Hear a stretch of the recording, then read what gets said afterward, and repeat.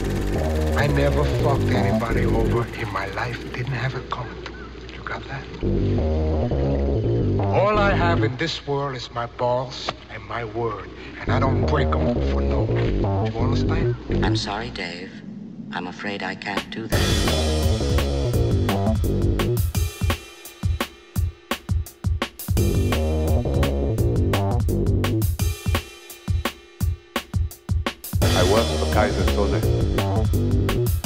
Tu énormément. I work for Keyser Söze. Je suis colère, les enfants, je suis colère. To all of my regular listeners, welcome back. To people who feel obligated to listen to the show because they're related or they're friends or whatever, welcome back. To new people, welcome to this season two of Admit One. I took a little break, obviously, back there in May or so. It was honestly only intended to be a small break because we were moving and stuff like that, but then shit just kept piling up. So someone suggested to me that we just break it up into a season, and I slowly came around to that idea. And so here we are in season two of Admit One, and today we're going to be looking at Mad Max. You know, for the longest time, I was really only aware of Mad Max through that semi homage to him or reference in Raising Arizona. Um, I had seen kind of the Road Warrior on TV, but I didn't really know that there was others, and I didn't really see them all or see all of them until that movie Awakening of the early 2000s. So at that time, it was kind of cool to go back and, um, you know, watch that part of cinema history, I guess. And and now it's kind of cool to go back now that my brain retains more information and, and watch them again and just kind of see their progression towards a kind of world in decay to straight up nuclear war and desert landscapes and crazy people and monster trucks. And it's also interesting, especially uh, with similar movies, kind of like Terminator and, and things like that, where um, you start off with this low budget indie, and now fast forward uh, 30 years later, you're making $150 or I wish it was $150. $150 million action blockbuster. It's just kind of crazy how the popularity can can skyrocket and and shoot you into the stratosphere like that. Cuz I'm a firm believer in in that restrictions in filmmaking yield better results. Um, and this is no exception. This first one here, like I said, the before the post-apocalyptic setting, and the and this one is is straight up as indie as you can get. Like they shot it guerrilla style, like they would run out into the middle of the street and wouldn't have permits and stuff like that. Uh, eventually, the police caught on and were kind of interested in what they were doing, and eventually started helping them out. But the fact that they were just like, you know, we don't have a whole lot of money, but we have this great idea. Like, let's go out there and fucking make it. And considering how it was made, like they used cracked lenses and broken cameras and all this shit. Uh, it's amazing what it looks like today in, in high def and, and stuff like that. Like, it's an amazing looking film. You don't always get that. You know, there's like, um, which sparked a debate within myself, you know, uh, with like The Exorcist 3 with that uh, quote unquote director's cut or the director's cut of Once Upon a Time in America, where they have all this footage now, but it's not great quality. So they they go back and forth. Whereas a movie like this is 30 years old and and shot guerrilla style and stuff like that, and it still looks great. They did what they had to do with the budget that they had. So like you have this awesome movie with minimal uh, financial backing, and and it and it doesn't show. I watched a movie yesterday, which I think we'll have an episode here shortly of, um, where I'm sure they probably spent similar amount of money, and it it doesn't even look. Uh, they they don't even compete in the same sport or the same league or whatever.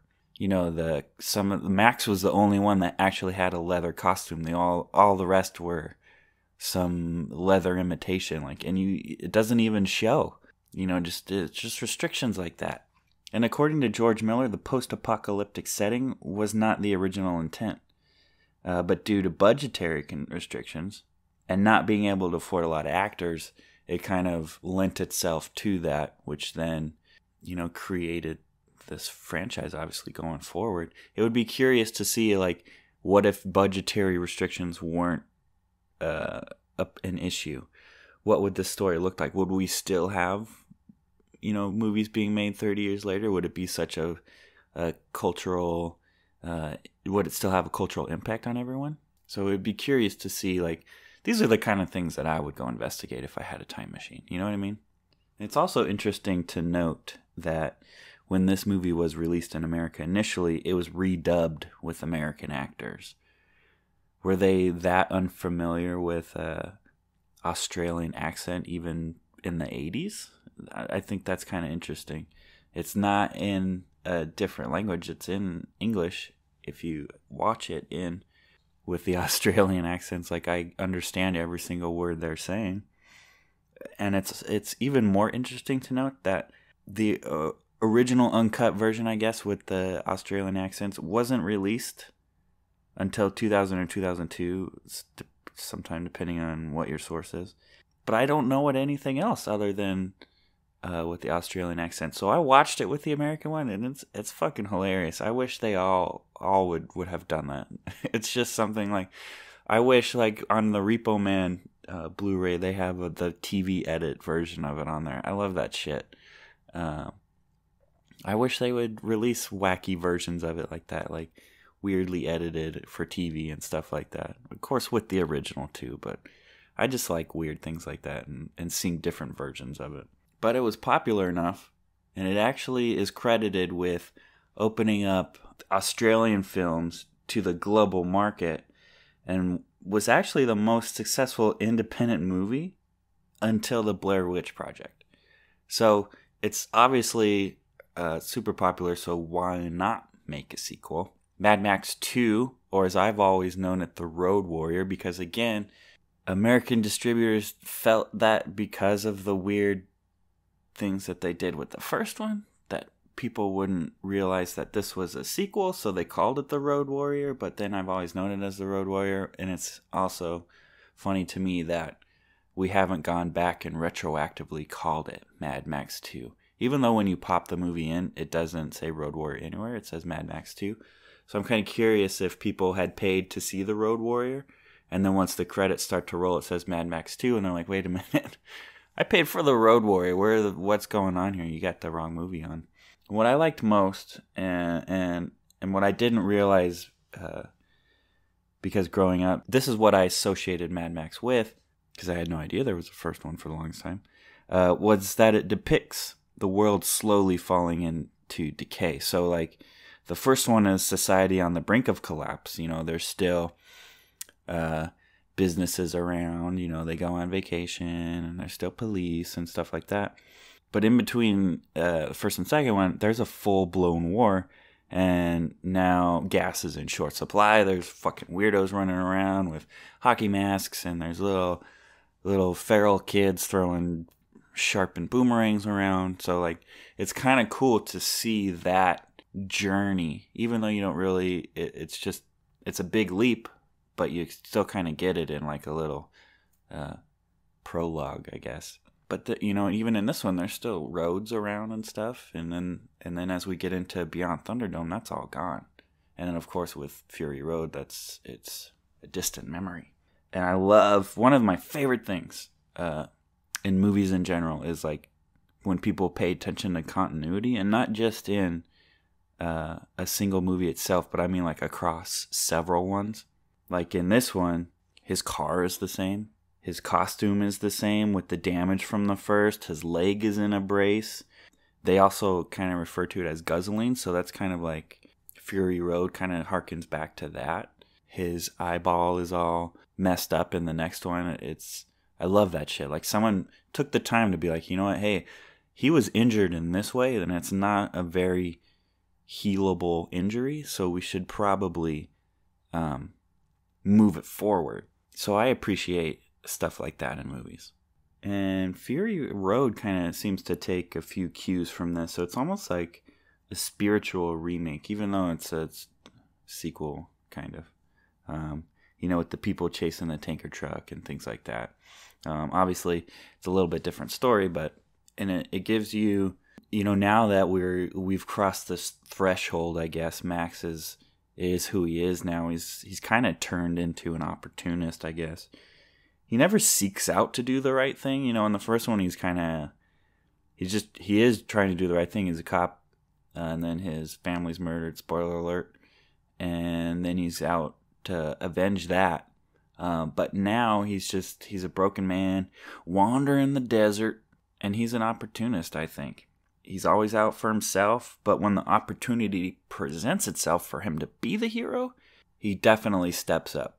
But there's always that underlying selfishness to it, because um, he's just now he's just roaming, roaming the land from place to place, doing whatever.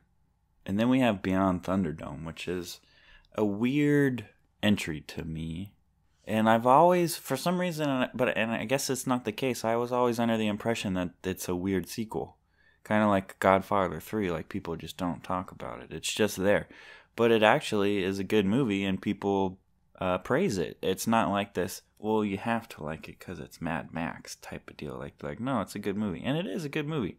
Tina Turner or whoever it is is odd choice, but whatever. She's good in it. Um, it's very much of its time, even though it's post-apocalyptic future, I guess. Uh, it's very 80s, um, but luckily they chop off that mullet of his.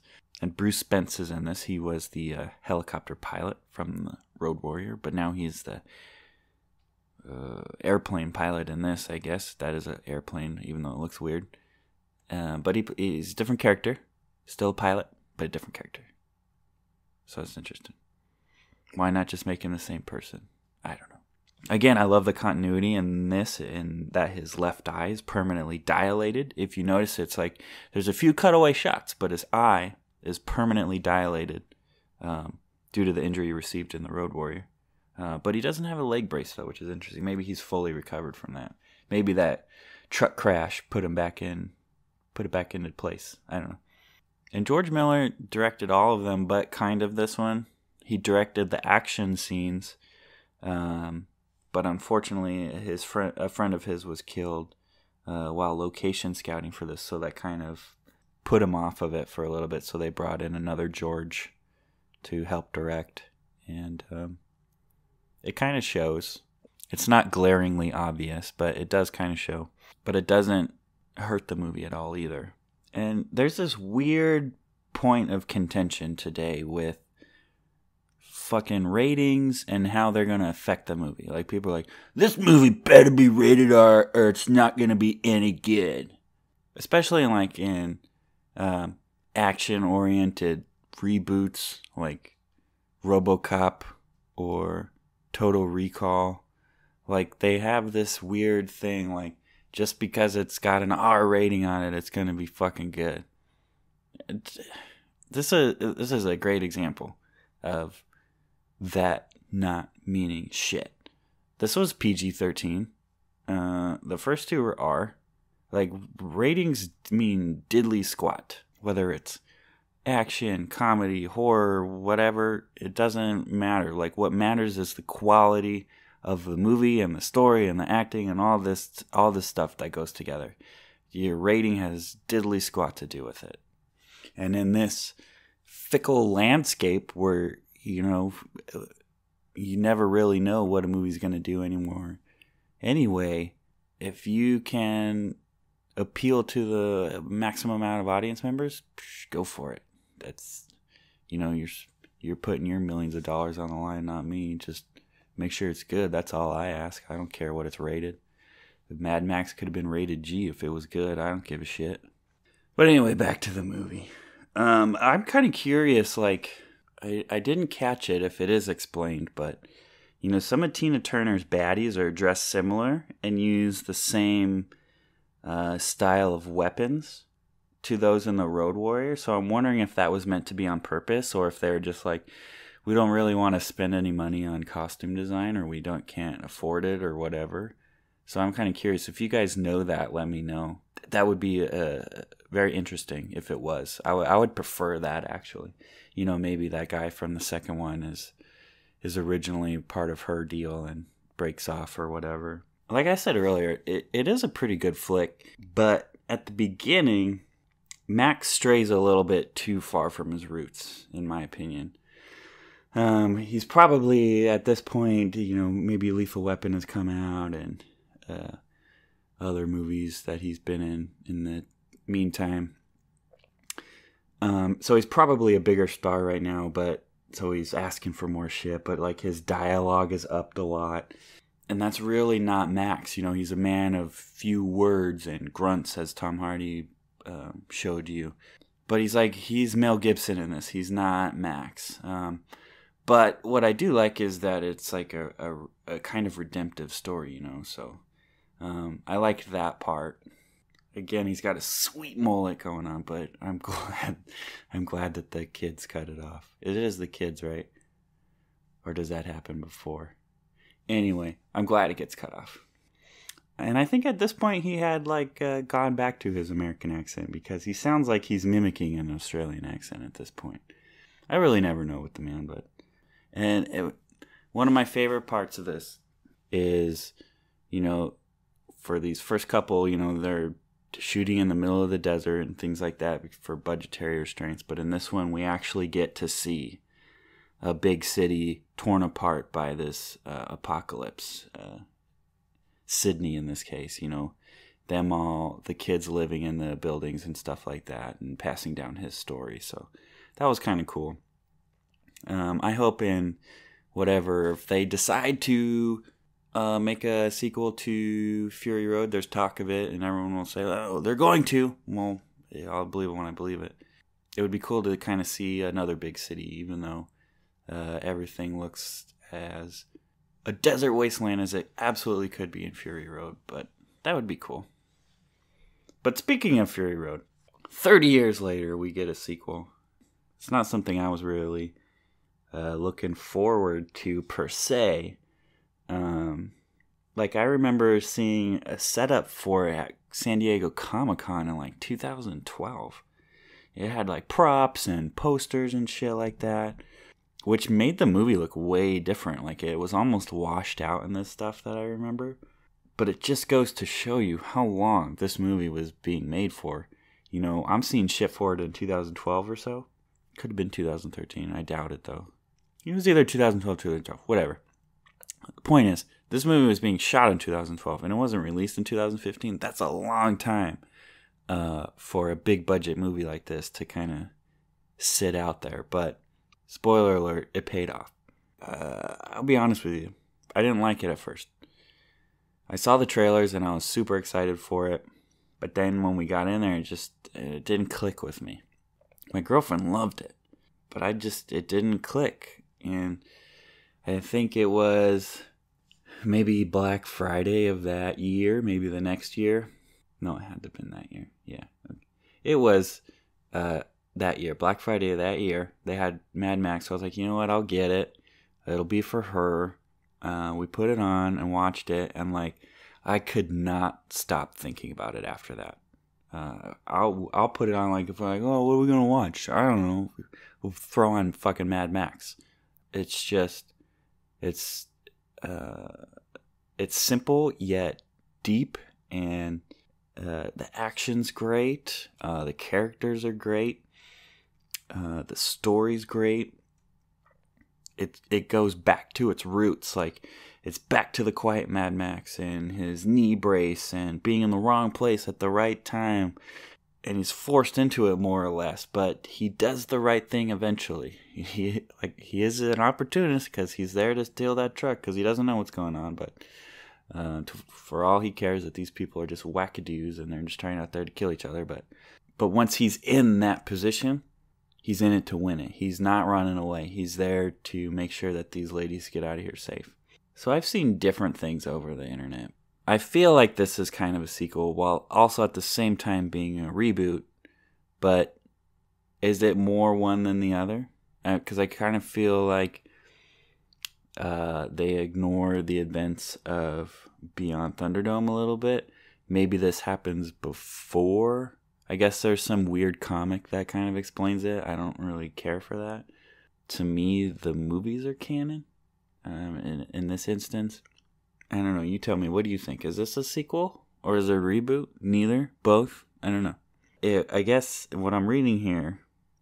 I guess it was rumored that the sequel, uh, this movie, Mad Max Fury Road, takes place after Thunderdome. However, in Mad Max Beyond Thunderdome, Max is about 40, and in Fury Road, he's in his mid 30s. He still has the car, which he loses in Beyond Thunderdome, and it's but it's outfitted differently. I don't know. It is what I think. It's like to me, it, it follows Beyond Thunderdome just for simplicity's sake. That's what it does for me.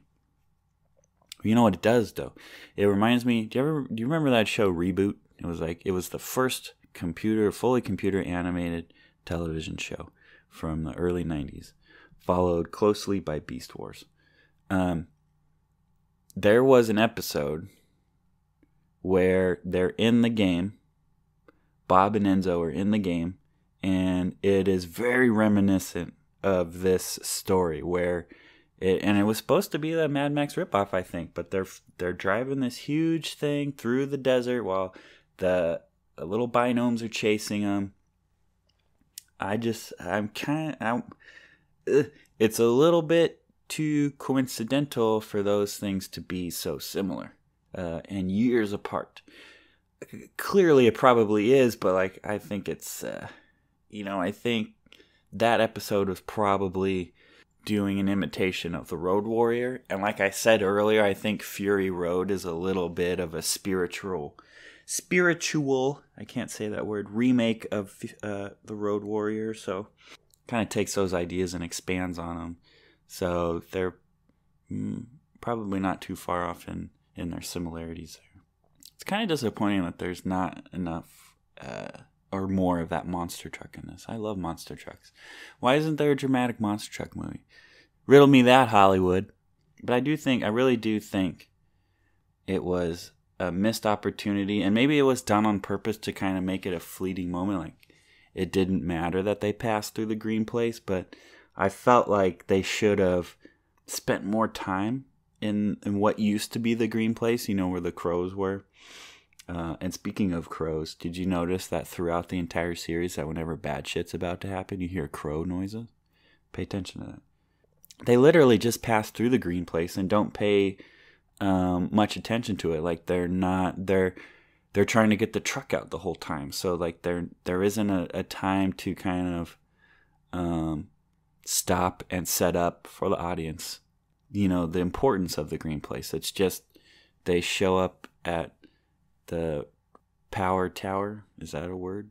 That's what popped in my head. Anyway, uh, you know where the the ladies are, and they're like, "You passed through the green place," and she's like, "No." Uh, it to me like as an audience member and wanting to feel something about that green place and connect with her, I, di- I didn't feel that that was there. But when they're at that place, I love how they shot the night scene Normally, I fucking hate when they shoot day for night and then they put that lame blue filter over it. But what they did here was they like overexposed it, um, which really brought an eeriness to it. In fact, the whole scene is awesome. By not showing what Max is doing when he goes after that, uh, now he's eyeless, but the guy driving the tank and he's got all the guns. Uh, it makes your imagination run wild. And then he shows back up with blood on him. Like, what the fuck did he just go through? I love that scene. That even though, like, in the in the story as a whole, like I said, it, it, bothers me that they don't set that up a little bit better. I, I love that entire scene. That's probably one of my favorite scenes in the movie. So a year later, now we're in 2016. There's rumors running rampant that there's a black and white version of Fury Road. And I'm like, black and white? What the, what the fuck? Every time I'm reading about this movie, it the director's saying that he wanted like color and he wanted people to take the film cells and and take color needles and inject not really but you know what i mean like he wanted a lot of fucking color in this And now we're gonna get a black. I thought it was fucking dumb. A black and white version of a, a very bright film. Personally, I think it was misrepresented uh, out in the community as a whole, and I will tell you why. Because every time I'm reading about it, they're saying like, "Ah, this is the definitive, definitive." Did I say it? definitive version of Mad Max Fury Road? But then you listen to like the introduction of Black and Chrome, and he's saying that that he only got the idea because he saw a black and white working copy of the Road Warrior, I believe, in black and white. So he thought that it'd be cool to do a version of that one day. Uh, Road Warrior might have worked because it's kind of a, it's not, it's interesting looking film, but it's not driven by its color where this is. So I love how in the introduction he says that it looks cool, but there's some scenes that work better in color, which is very true. Uh, but never once does he mention that it's the definitive uh, edition that's um, reported. It was more of an experiment, and I, I, that's cool. I dig that. Yeah, cool. Try shit like that. You know, Logan Noir or whatever. That was cool to see. Some things just don't. I'm I'm waiting for a Guardians of the Galaxy in black and white. It's it with this trend going on. I don't know. If you shoot it in black and white and you have the intention of doing that, that's great. But uh, otherwise, just maybe leave it alone. I don't know. That's my thinking. How long before the rest of them are converted? You know, the the rest of the Mad Maxes. I'm sure you can find them online. While I, I, you know, this movie works better in color. There are some scenes. Don't get me wrong. There are some scenes that where I'm watching it in black and white, and I notice things that I didn't notice before. Uh, like when Max is at the very beginning when he's running through the tunnel from the War Boys and he jumps out. I noticed people working at the top of the pillars there, which I don't, I didn't really see in the color version. And when Nux crashes the car in the, dirt storm, Max flops around. I never noticed that before. So more details, you know, uh, physical details popped out more. Um, like the scars and, and cracked skin of the War boy stand out more. Uh, Joe's mask definitely stands out more. But again, it's just, I don't know. It's interesting. It is interesting to watch a movie heralded for its color in black and white. You know, if it was some rando on the fucking internet doing this, I'd be like, get out of here. But the director sitting down and actually saying, look, this is what we did. We we had to recolor everything and do this and that. That's kind of cool to watch. I, you know, I, I dig stuff like that, different versions there are stuff that it, it suffers because it's in black and white. Uh, the dust storm pops less, but it looks more realistic in black and white. So I'll say that it's more violent. The landscape seems more apocalyptic. To me, in this, you know, I, I said that the nighttime scene in the green place was my favorite. In this, it looks even better. Um, it almost makes it feel like a horror movie. So like, there's definite give and take on this. Um, it's a weird experience to kind of go through where you're saying, yeah, that works, but that doesn't. It's something that you should probably check out, even if you don't buy it or love it or whatever. Just for just to check it out for solidarity. Is that the right word? I don't know. Because you can, because it's there, because the filmmaker was like, dude, you guys check this out. It may not be great, but here, check it out. And don't rush out to buy it either. If you don't already own it, it's not a must have. It's a beautifully colorful movie and it should be watched that way. So if you have the Blu ray, you should be fine with that. But if you are a movie fan, again, it's worth checking out. But that is the end of our first episode of season two. I, that comes after one, right? One, two, yeah, season two. Until uh, next time, though, that is a wrap. Mr. Brown, that's a little too close to Mr. Shit. Are you the police? No, man. We're musicians. I work for Keyser Söze. That's this way, no, homie! I work for Keyser Söze. That's this way, no, homie! Here's the fucking money, shithead!